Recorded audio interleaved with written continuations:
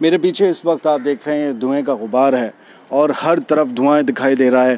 یہ وہ علاقہ ہے جو بھجن پورہ اور مصطفیٰ آباد کا جنکشن ہے۔ اس طرف بھجن پورہ کا علاقہ اور سامنے بالکل مصطفیٰ آباد کا جنکشن ہوتا ہے۔ مطلب مصطفیٰ آباد ہے اور وہاں پر ایک مزار ہے۔ سننے میں آ رہا ہے کہ یہاں پر توڑ پھوڑ ہوئی ہے آگزنی ہوئی ہے، کئی واہنوں میں آگ لگائی گئی اور ایک ویڈیو سامنے آیا ہے جس میں بھجن پورہ کا جو پیٹرول پمپ ہے، اس میں بھی آگ لگتے ہوئے دکھائی گئی ہے۔ یہ وہ پیٹرول پمپ ہے جہاں سے میں بھی اکثر پیٹرول لیا کرتا تھا اپنے وہیکل کے لیے۔ اور یہ سب مصطفیٰ آباد، چاند باغ، یہ وہ انٹرنل علاقہ ہے جہاں پر سے اس وقت بھینکر طریقے سے کالا کالا دھواں اٹھ رہا ہے۔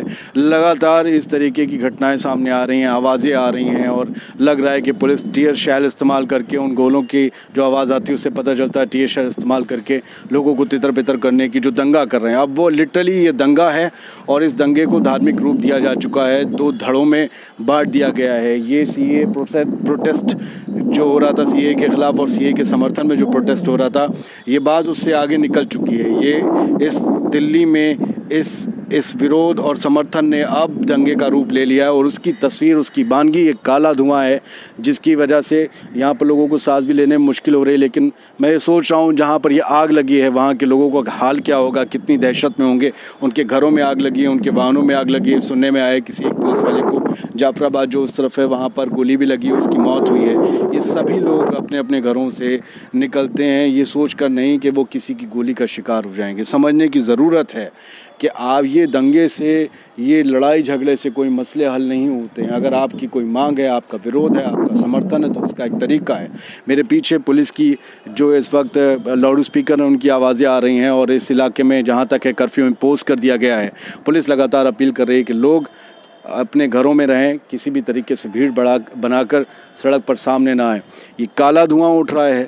اور آپ دیکھ سکتے ہیں، آپ کو لگ رہا ہے کہیں سے یہ دلی کی تصویر ہے۔ ہم نے ایسی تصویر جب پروگرامز بناتے ہیں، ہم اپنے نیوز چینل یا میڈیا کے لیے، تو ہم نے ایسی تصویر سیریا کی دیکھی تھی جہاں پر یہ ایسی تصویریں اٹھتی تھیں دھوئیں کی۔ اور اس میں کوئی ایک نہیں، ہر گٹ ہر ورگ ذمہ دار ہے۔ وہ لوگ جو سمرتھن میں تھے، وہ لوگ جو ورودھ میں تھے، یہ سب کی ملی ہوئی، لگائی ہوئی آگ ہے۔ اس کے لیے کسی کو بھی معاف نہیں کیا جانا چاہیے اور سخت سے سخت کارروائی کی جانی چاہیے۔ لوگ غبار پالے بیٹھے ہوئے ہیں کسی ایک مذہب کے لیے اپنے دلوں میں۔ اور لوگ غبار پالے ہوئے ہیں اگر کسی ایک سطح کے خلاف۔ تو اس غبار کا نتیجہ یہ نہیں ہونا چاہیے کہ پبلک پراپرٹی میں آپ آگ لگا دیں، آپ کو اختیار کس نے دیا ہے، یا آپ کریں۔ ہمارے پیچھے سے شور آ رہا ہے ہزاروں کی بھیڑ کا، یہ لوگ کون ہیں؟ یہ آخرکار چاہتے کیا ہیں؟ کیوں آخرکار اگر ایک آندولن چل رہا تھا تو وہ ایک دم سے اگر کیسے ہو گیا؟ اس کو اگر کرنے کے لیے کس نے کوشش کی؟ اس کو اگر بنانے میں، اس آگ میں گھی کس نے ڈالا؟ یہ آگ کس نے لگائی؟ آخرکار یہ ایک بڑا سوال ہے۔ بہت سے نیتاؤں کے بیانوں سے بھی ماحول بگڑا تھا۔ اس طرف ہمارے کبھی نگر ہے، وہاں بھی ہلکا دھواں ہے۔ وہاں کل پتھر بازی ہوئی تھی، کہا گیا تھا نیتاؤں کی وجہ سے بیانوں سے۔ یہ سب ماحول خراب ہوا۔ میں یمنا وہار میں ہوں، یہ چاند باغ ہے، وہ مصطفیٰ آباد ہے، وہ بھجن پورہ ہے۔ اس طرف لوگ نے آگ لگا رکھی ہے اور اس طرف یہ سبھاش محلہ ہے اور سیدھے اس کے پیچھے جائیں تو جعفر آباد ہے۔ لوگ اپنے گھروں پر کھڑے ہوئے ہیں۔ یہ دیکھ رہے ہیں کہ کہاں تک آگ لگی ہوئی ہے۔ وہ وہاں سے بھی کچھ دھواں اٹھ رہا ہے۔ وہ علاقہ پشتے کا ہے۔ وہ پشتہ والا علاقہ سیدھا جو پشتے کا روڈ ہے، وہ جاتا ہے شاستری پاک وہاں سے کشمیری گیٹ۔ سامنے ہمارے سگنیچر برج ہے۔ یہ بھی تیمار پور کے لیے راستہ چلا جاتا ہے۔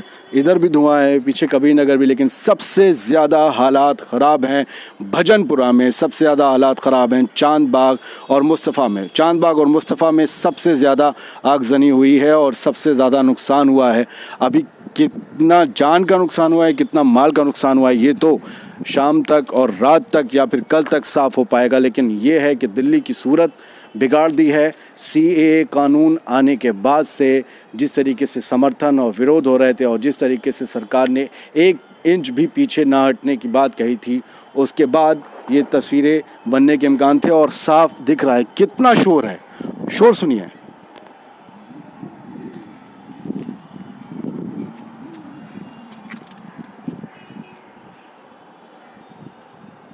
مجھے پتہ نہیں ہے مائکرو فون اتنی دور کا کیچ کر پائے گا، لیکن یہ شور کافی ڈرا رہا ہے۔ چھوٹے چھوٹے بچے ہیں، گھروں میں بیمار لوگ ہیں۔ اور وہ ڈر رہے ہیں، میں آفس نہیں گیا ہوں، کیونکہ میں لینڈ لاک ہو چکا ہوں۔ چاروں طرف سے میرے یہی اراجکتا ہے، یہی دنگا ہے، اور اس کی وجہ سے میں گھر میں قید ہوں۔ لیکن لوگ جو بیمار ہیں، پریشان ہیں، جن کے گھر شادی ہے، جن کو کہیں دکھی اور خوشی میں جانا ہے ان سب کے کیا حال ہوں گے؟ لیکن ان سب سے زیادہ میں ان کے بارے میں سوچ رہا ہوں جو مصطفیٰ آباد اور چاند باغ میں رہ رہے ہیں اور جو اس اراجکتا کا شکار ہو رہے ہیں، جہاں سے کالا دھواں آپ دیکھیے کس طریقے سے اٹھ رہا ہے، کن چیزوں میں، کن واہنوں میں اور گھروں میں آگ لگائی جا رہی ہے۔ میں سمجھ نہیں رہا ہوں۔ اب یہ مدد کی چیخ پکار ہے یا یہ حملہ وروں کی چیخ پکار ہے؟ یہاں سے یہ فرق کر پانا بھی مشکل ہے۔ لیکن جو ہو رہا ہے دلی میں وہ بہت زیادہ بھینکر ہے، وہ بہت زیادہ خراب ہے۔ میں دعا کرتا ہوں، آپ بھی دعا کریے کہ دلی سلامت رہے۔